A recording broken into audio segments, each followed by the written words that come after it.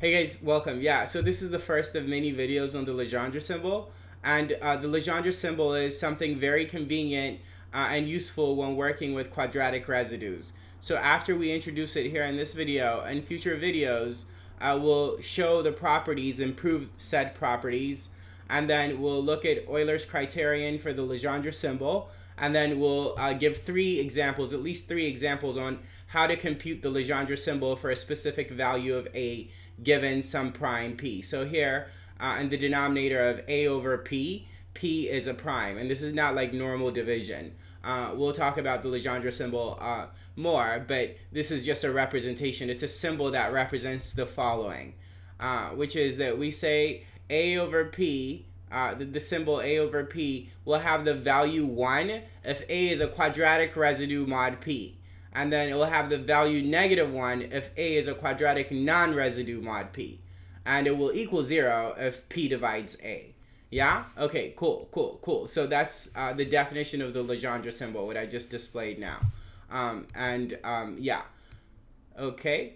And to, to summarize it a bit more succinctly, this is what we're saying. A over P, which is called the Legendre symbol, uh, will equal 1 if A is a quadratic residue mod P. It will equal negative 1 if A is a quadratic non-residue mod P. And it will equal 0 if A is divisible by P.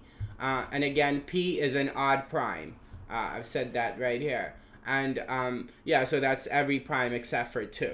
Uh, since we've already uh, worked uh, with uh, the quadratic residues and quadratic non-residues mod 7, recall that we said that 4 is a quadratic residue mod 7, as is 1 and 2, or as are 1 and 2. Therefore, this is what we're saying. In terms of the Legendre symbol, uh, 1 over 7, right? 1 over 7 will equal 1 because 1 is a quadratic residue mod 7.